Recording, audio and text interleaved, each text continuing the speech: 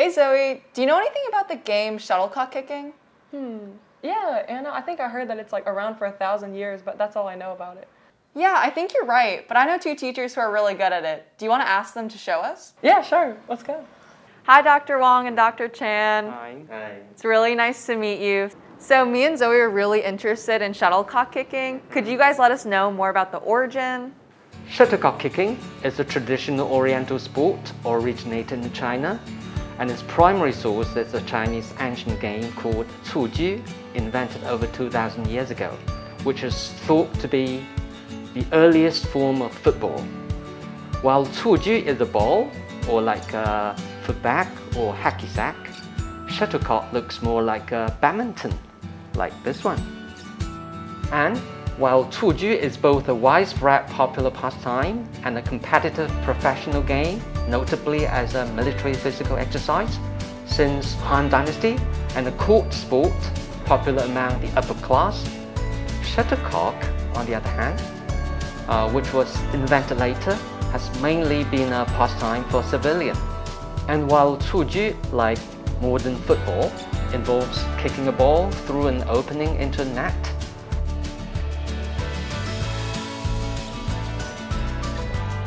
Shuttlecock players aim to keep the shuttlecock in the air with any part of their bodies other than hands or arms.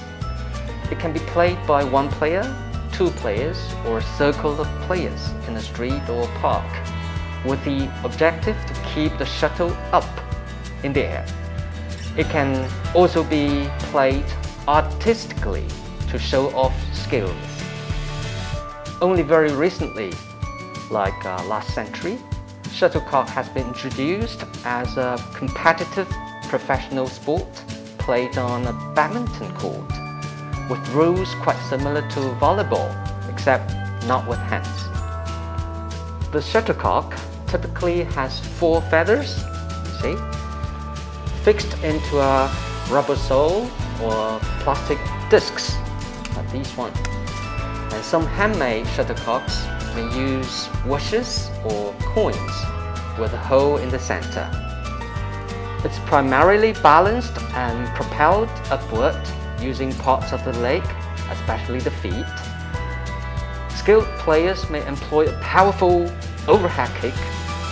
And in China, the sport usually has two playing forms, circle kick among a few people and dual kick between two kickers or two teams.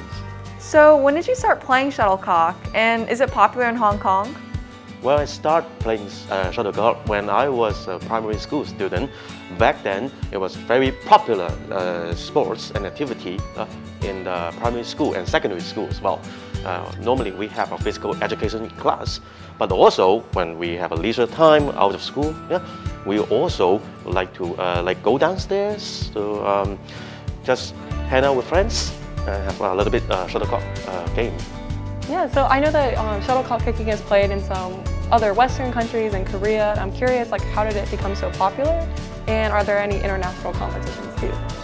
Well, for Korea, according to some historical record, uh, it shows that uh, shuttlecock has been exported to Korea like uh, back to uh, like 8, 900 to 1000 AD. Ever since the uh, Korean adopt this uh, tra- traditional sport. Uh, for the recent uh, days, we noticed that there's a trend of being internationalized of this kind of sports. Uh, like uh, 20 years ago, there's been an international association uh, shuttlecock established, and there's been a lot of international competition ever since. In fact, why don't you join me have a little bit fun experience?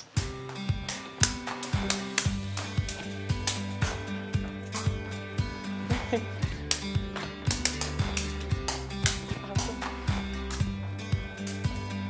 不，不要。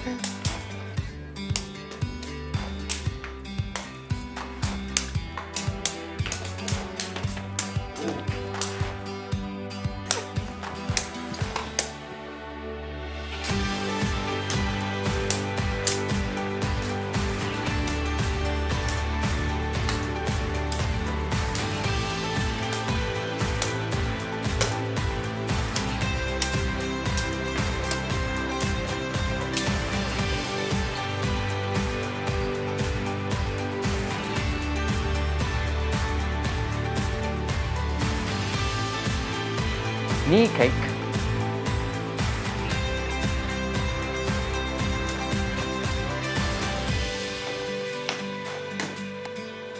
inside kick,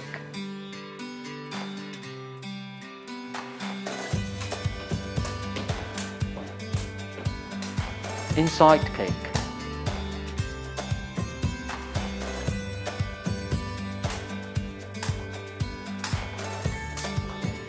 outside kick.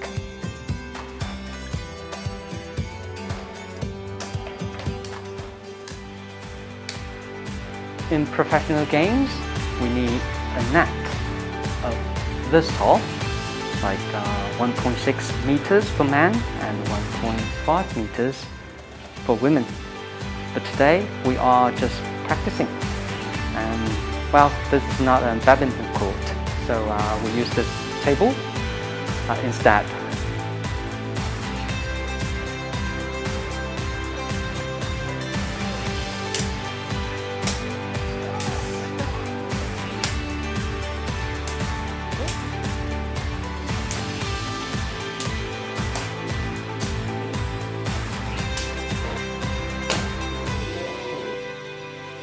Thank you so much, Dr. Wong and Dr. Chan. I really had so much fun playing shuttlecock today. You're welcome, Welcome. Anna and Zoe. Yeah, thank you. I had so much fun as well. And students, if you want to join as well, catch us on the court for some good exercise and a great time.